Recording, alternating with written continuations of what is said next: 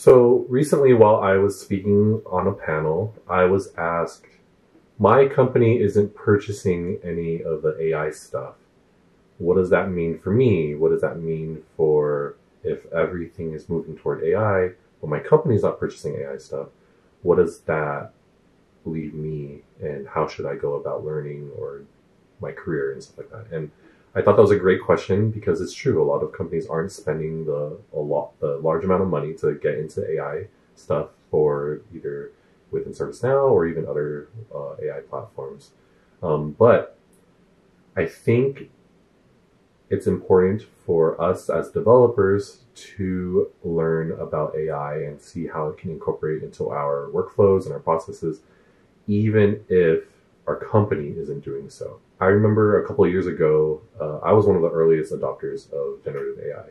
Uh, when ChatGPT came um, out into the light, uh, I was using it heavily, and I remember thinking to myself, wow, this really speeds up a lot of the stuff I'm working on.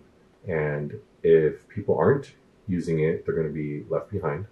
And on the flip side, everybody that is using it intelligently uh, will be ahead of everybody else uh, in their work or in their peer group, etc.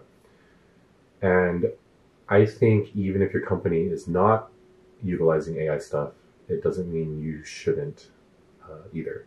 And so I think you should still be investing in AI stuff. I think still think you should be investing in learning and incorporating these things, even if it's not part of your um, company's licenses.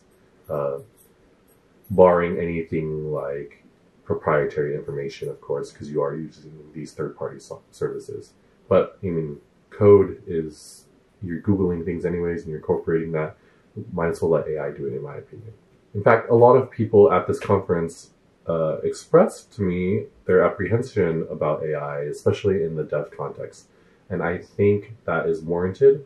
But I also think it's the future, and I have heavily learned about all these things like vibe coding and all the different language models and which ones are the best and stuff like that. And I really think that our devices, our phones, uh, software, apps, development is moving to the way of conversational interfaces. And so it's important for you to get used to that and to practice that at, or at least be informed. Um, and so things like vibe coding we're calling it conversational coding at ServiceNow, but vibe coding is becoming something much more ingrained in all of the things that we do. Um, and that's reflecting the conversational interface of generative AI models.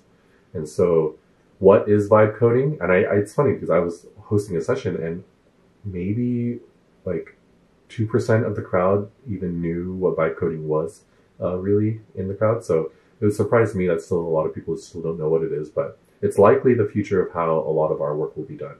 Um, at the beginning of this video, you saw that skit of one developer talking to uh, a different developer, maybe a junior developer, asking them to make a, a widget and giving instructions, and then coming back and saying, "Hey, that's great. Can you do this to it now? Hey, that's great. Can you add this to it?